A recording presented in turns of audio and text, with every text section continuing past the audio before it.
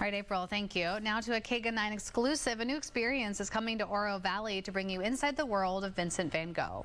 But fans won't have to go too long waiting in line. Uh, the last time I'm using that pun, this immersive experience, by the way, opens this week. It should be more fun than some bad wordplay. Our Brooke Chow is smiling through it uh, because she's a good tour guide who has our sneak peek for us, right, Brooke?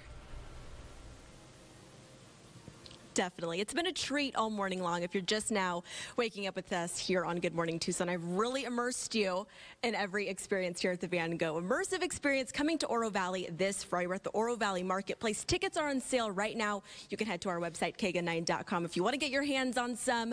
But again, this Friday is the day to be here. But right now, I want to join in. John here, you've just now waking up with us. We've really been talking to him all morning about how he created this, the idea behind it.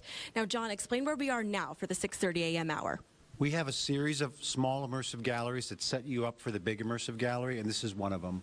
I call it Van Gogh's Many Vases. And what we do here is we have a, a built-out 3D vase that we're projecting numerous dozens and dozens of Van Gogh's flower paintings onto. So this is an example of projection mapping, but you also can see all the beautiful flower paintings that he painted over, over his lifetime. He was very focused on honing his craft and he did that with flowers because he didn't have a lot of money. He couldn't afford models. He was always staying with someone else a lot of times. But there was always a vase of flowers on the table that allowed him to paint and paint incessantly, which he loved to do.